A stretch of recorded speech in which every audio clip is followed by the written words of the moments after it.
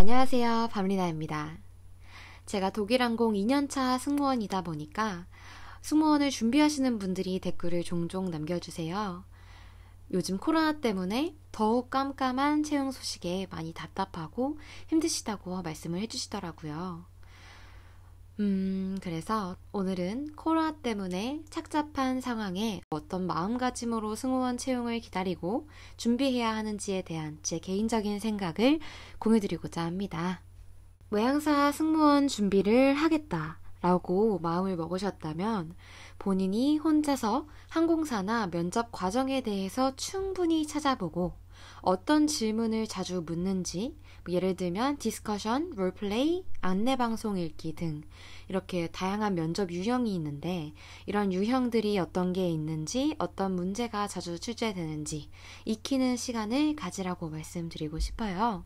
면접을 대비해서 꼭 내 생각을 확립해 둬야 할 문항들을 알려드릴게요.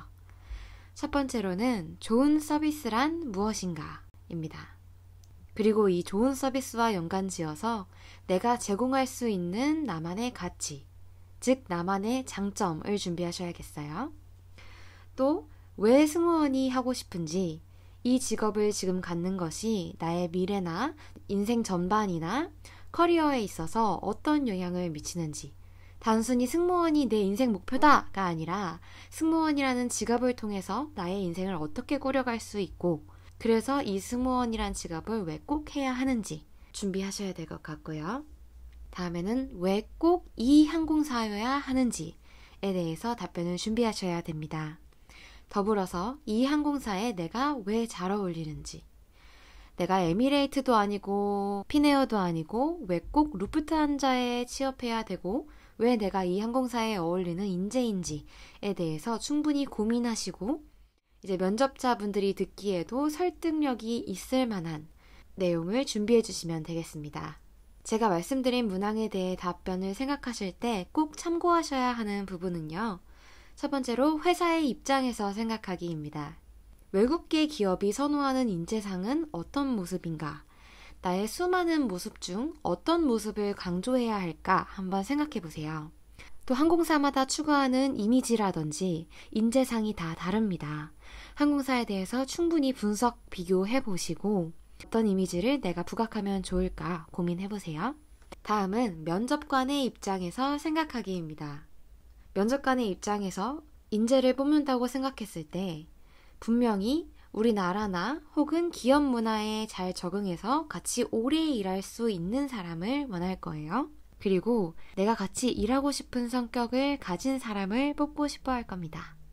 그러면 면접을 보는 입장에서 나는 굉장히 밝고 내 일은 똑부러지게 잘 할 줄 아는 사람이야. 이런 면모를 어필하시면 면접관의 입장에서 아, 이 친구 참 같이 일해보고 싶다. 라는 생각이 들 수 있겠죠. 위 질문들에 대한 답을 충분히 고민하셨다면 저는 그 이후에는 무조건 승무원 스터디를 자주 참여하시라고 말씀드리고 싶어요.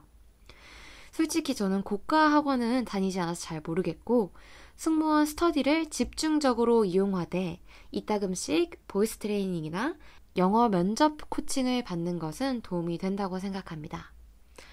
아마추어 준비생들끼리 아무리 의견을 주고받아도 전문 면접관의 시선으로 받는 피드백은 완전히 다르거든요.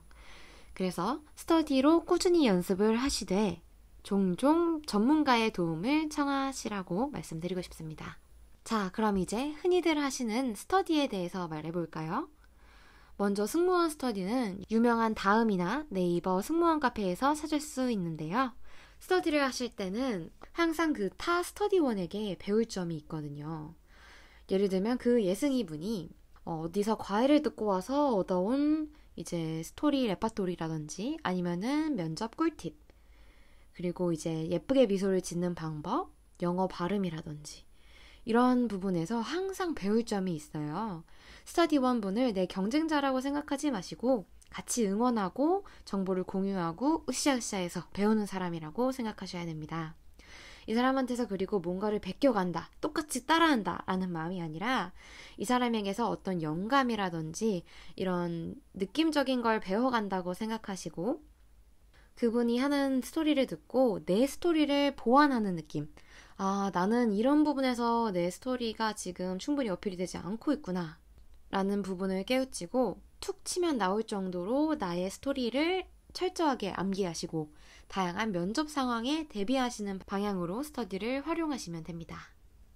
스터디에서 주의하실 점 두 번째는요. 항상 피드백을 꼭 받으셔야 합니다. 예를 들면, 아, 방금 지은 미소는 조금 억지 미소 같았어요. 아니면 억양을 이쪽에 강세를 두면 좀 더 자연스러울 것 같아요. 방금 말하신 스토리는 조금 이런 부분에서 아쉬웠어요. 혹은 지금 말씀하실 때 자세가 등이 너무 굽어 있어요. 자신감이 없어 보여요. 등등 이런 피드백을 받고 반복되는 피드백은 신경 써서 고쳐 나가셔야 됩니다. 다음엔 이거 꼭 지적받지 말아야지 다짐하셔야겠죠? 다만 지양해야 될 것은 어, 피드백 할 게 없어요. 진짜 너무 잘하세요. 이렇게 칭찬만 하는 사람이에요. 정말 마음에서 우러나서 그런 말을 할 수 있지만, 나한테 중요한 건 이 사람한테 내가 완벽하게 보이는 게 아니라 전문 면접관에게서 완벽하게 보이는 게 중요하거든요. 그래서 계속 피드백을 없어도 쥐어 짜내서 꼭 하나 피드백을 주세요. 라고 말씀하셔야 됩니다. 그리고 항상 피드백은 받지만 피드백은 선별적으로 수용하셔야 돼요. 사람마다 신경 쓰는 게 다르거든요. 예를 들면 어깨 비대칭이라든지 공수 자세가 이상하다든지 아이 컨택이 아쉬웠다라든지 사람마다 피드백 주는 부분이 달라요. 근데 나도 느끼기에 아 이건 내가 진짜 고쳐야겠다 느끼는 거 여러 사람에게서 반복적으로 듣는 피드백은 꼭 고치셔야겠죠. 그리고 가장 정확한 것은 영상을 찍어보고 제가 그 영상을 직접 보는 거예요. 그러면 내가 말할 때, 어, 내가 몰랐던 이런 습관이 있었구나. 어, 이건 진짜 고쳐야겠다. 이렇게 정확하게 파악하실 수 있겠죠. 스터디하면서 지향하실 것 하나 더 말씀드리자면, 카더라 통신입니다. 카더라 통신은 최대한 지향해 주시는 게 좋아요. 스터디 1시간에서 2시간 하시잖아요? 근데 30분을 카더라 이야기로 모두가 한마음 한뜻으로 걱정하시면 시간이 너무 아깝죠. 그 시간에 차라리 연습하시는 게 좋습니다. 카더라 듣는 것은 마음만 뜨고 실망이 굉장히 잦아지거든요. 회사에서 공식 입장이 뜨기 전까지 뭐 어디 항공사가 올 봄에는 몇 명을 채용한다더라. 뭐 누가 오픈데이를 갔는데 한국인인 거 보자마자 시비드랍에서 떨궜다더라. 등등 너무 카더라에 집착하지 마세요. 어차피 항공사는 항공사마다 뽑는 인재 기준이 다르고요. 면접관마다 느끼는 게 다르기 때문에 누구 눈에는 완벽하게 갔어도 그 면접관 눈에는 단점이 보였을 수 있겠죠. 카더라에 너무 흔들리지 말기로 해야 우리. 네, 요즘 업계 상황도 참 궁금하실 것 같아요. 어, 코로나 때문에 아시다시피 전 항공사들이 비상입니다. 경제적으로도 그렇고요. 어, 그래서 원래 외항사가 언제 뜰지 기약이 없었다곤 하지만 코로나 때문에 비행기를 리즈해서 쓰던 항공사들은 진짜 빚더미에 올라가 있고 어, 상공기를 소유하고 있는 직접 보유하고 있는 저희 항공사 같은 경우도 항공기를 이제 판매를 한다든지 어, 많이 어려운 상황이에요. 그렇기 때문에 앞으로 몇 년간 새로운 인재를 뽑아서 훈련시킬 여력이 없을 가능성이 높아요. 솔직히 말씀드리면. 어, 그래도 사실 외항사는 언제든 갑자기 뜨면 지원할 수 있게 준비가 돼 있어야 되는 거거든요. 그래서 어, 지금 당장 언제 어디 항공사가 뜰 거라는 기약은 전혀 없지만 지금 하시는 일 꾸준히 하시면서 내가 내 면접 스토리에 쓰일 어, 에피소드 거리를 만든다라고 생각하시고 서비스직 경험 많이 쌓으시고요. 어, 면접 준비를 탄탄히 꾸준히 이제 버티면서 하시는 걸로 합시다, 우리. 그러지 않고서는 사실, 어, 당장 우울감에 빠져서 아무것도 하기 싫다. 이럴 수 없잖아요. 항공업계 이제 분위기가 회복되면 분명히 한국인 승무원들 또 뽑을 거거든요. 꼭 필요하기 때문에 지금 상황은 어둡지만 다들 힘내시고 열심히 준비하실 수 있기를 바랍니다. 제가 말씀드리는 게 조금이나 위로가 됐으면 좋겠네요. 자, 그러면 그 뻔한 승무원 스터디 외에 내가 할 수 있는 일이 뭘까요? 라고 궁금하신 분도 있을 것 같아요. 제가 추천드리는 건요. 항공업계를 모니터링 하시는 겁니다. 음, 이 말은 즉슨 단순히 뉴스를 보는 것도 좋겠지만 뉴스 외에도 좋아하는 항공사의 페이스북, 인스타그램 등등 SNS 채널들을 팔로우하세요.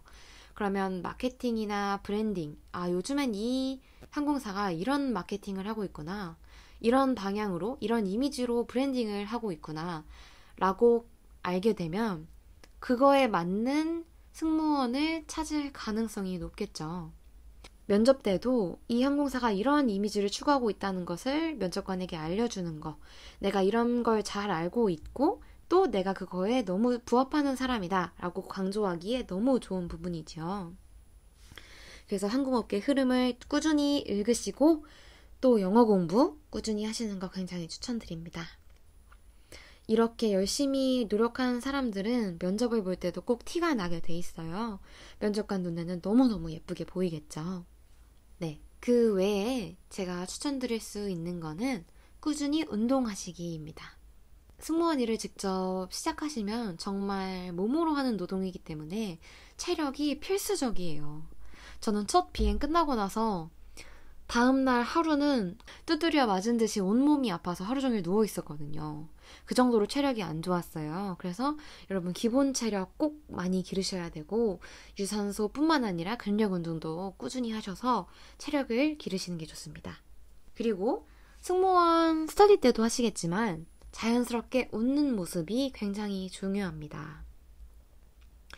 예쁘게 웃는 모습, 내가 거울을 보고, 아, 내가 이렇게 웃었을 때 되게 친절해 보이고 상냥해 보이는구나. 나의 얼굴, 나의 매력 포인트를 정확하게 파악하셔야겠고요. 다음으로는 피부 관리입니다. 어, 외항사 승무원 외모 많이 안 보는 것 같거든요, 제 생각엔. 근데 상냥한 인상, 그리고 피부는 봅니다. 피부가 무조건적으로 좋아야 되는 것보다 되게 환하고 인상이 좋아 보이는 피부 톤이 전체적으로 균일한 거는 사람의 한 인상에도 좋은 영향을 끼치기 때문에 피부 톤 균일하게 잡는 관리는 꾸준히 하시면 좋겠습니다. 제가 또 지금 읽기에 좋은 책을 조금 추천드리려고 해요. 첫 번째는 이미 어쩔 수 없는 힘듦이 내게 찾아왔다면 이란 책입니다. 우연히 교보문고에 갔다가 너무 이제 책 제목이 와닿아서 구매하게 됐는데요. 사실 코로나는 아무도 예견하지 못했고 누구든지 언제 끝날 것이라고 예견할 수 없는 부분이잖아요. 정말 코로나야말로 이미 어쩔 수 없는 힘듦이 내게 찾아온 상황이거든요. 우울감에서 벗어나고 뭐라도 열심히 하기 위해서는 저희 이제 우울한 마음과 정신을 조금 달래줄 필요가 있겠죠. 저는 개인적으로 이 책에서 꽤나 도움을 받았는데 이 책이 아니더라도 자신의 심리를 충분히 위로해 줄 수 있고 어, 보살펴 줄 수 있는 그런 책을 읽으시는 것을 추천드립니다. 두 번째로 제가 요즘에 정말 재미있게 보고 있는 책인데요. 여행의 미래라는 책입니다. 이 책은 이제 관광산업, 항공업계, 그리고 여행업계 전반의 트렌드를 다루고 있어요. 이런 트렌드를 전체적으로 알고 또 사람들은 어떤 이유에서 여행을 하고 앞으로 사람들은 어떤 목적을 가지고 여행을 하길 원할 건지 앞으로 항공사와 여행업계가 나아가야 할 방향은 어느 쪽인지 좀 전체적으로 굉장히 공부를 많이 할 수 있는 책 같거든요. 현직자인 저도 이 책 읽으면서 많이 공부하고 있고 느끼는 점이 많아서 승무원 준비하시는 분들께도 유용한 자원이 될 것 같아요. 이 책으로 업계 공부도 하실 수 있기를 바랍니다. 어, 요즘 정말 저도 코로나 때문에 일을 못한 지 어연 2개월 반이나 됐어요. 너무 우울하고 좀 힘들기도 하고 답답도 하고 너무 이전의 일상이 그리워요. 어, 그래도 승무원 준비생 여러분도 좌절하지 마시고 꼭 희망을 갖고 외항사는 존버하면 된다고 하잖아요. 그 말 믿으시고 열심히 준비하실 수 있기를 기원하겠습니다. 더 궁금하신 거 있으시면 댓글로 남겨주시고요. 어, 미흡하지만 제가 이렇게 준비해본 영상이 여러분께 큰 도움이 됐으면 좋겠습니다. 지금까지 승무원 유튜버 밤리나였습니다. 구독과 좋아요도 잊지 마세요. 감사합니다.